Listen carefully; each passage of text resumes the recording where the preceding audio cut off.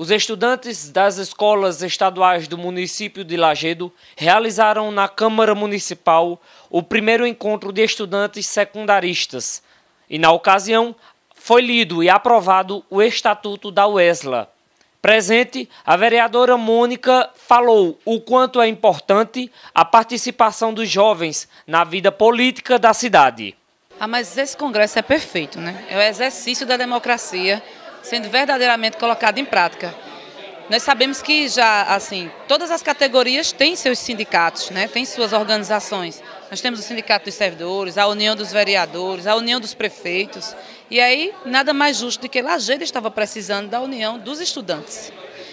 Sem contar, Edmar, que eu fico muito feliz, porque nós vamos ter agora uma entidade que vai representar todos os estudantes do município e que, de uma certa forma, todos os estudantes de escolas públicas municipais e estaduais vão estar representados por essa diretoria de jovens, eleitos no processo democrático.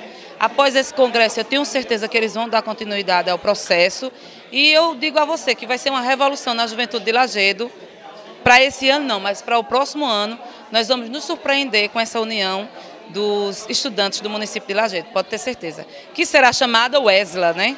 A Wesley. Já gostei até do nome, vai ficar famosa. Mas pelos jovens que eu estou vendo aqui, pelo presidente, pelas pessoas que estão envolvidas, eu acredito que vai dar o que falar. O gestor da EREM, Deolinda Amaral, relatou a importância da atuação dos grêmios nas escolas. Vejo que realmente é um marco, um marco histórico para a nossa cidade. É, vejo como os grêmios estudantis estão colaborando com as gestões nas escolas vejo realmente o destaque, o destaque do, dos grêmios nessas escolas estaduais. Acho interessante a nossa escola, a Erendel Linda Amaral, né, ter uma grande quantidade de, de, participantes no Congresso fazendo parte da, da UESLA. Da UESLA. É, vejo, vejo que eles realmente podem colaborar com a educação, tanto municipal como também é, aqui do Agreste Meridional, né, a partir desse marco inicial desse Congresso. O vice-presidente da UBS falou quais as conquistas que o movimento já obteve durante as seis décadas de existência. Então, a UBS é uma entidade combativa já com 66 anos de idade, nasceu no berço da ditadura militar. Acho que uma das principais conquistas que a UBS, a UBS teve durante esses 66 anos de história foi a derrubada da ditadura militar. Nós vivíamos clandestinamente antes, proibido o congresso e tal.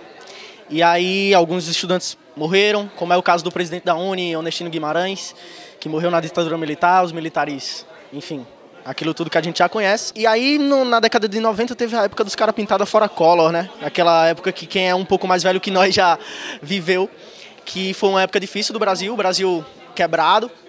E a UBS, quem encabeçou essa luta na, na a UBS que encabeçou essa luta no, em, em, termos de Brasil.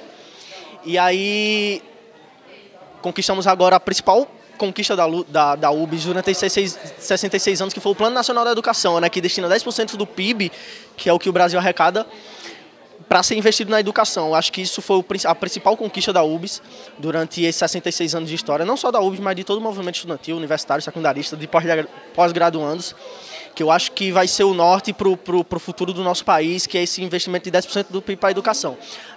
É, a importância de criar uma entidade, hoje uma entidade municipal, na cidade de Lajeado é muito importante pela, por exercer questões de democracia.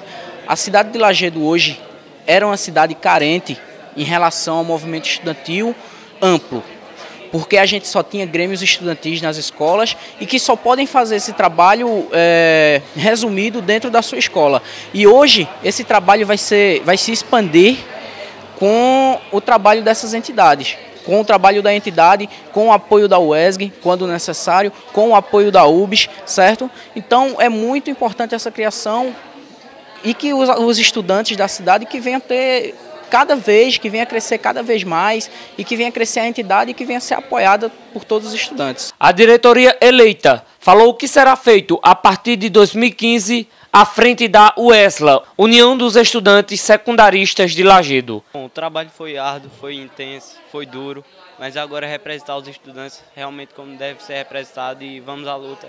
Isso aí, somos todos um só, isso é a UESA. Exatamente.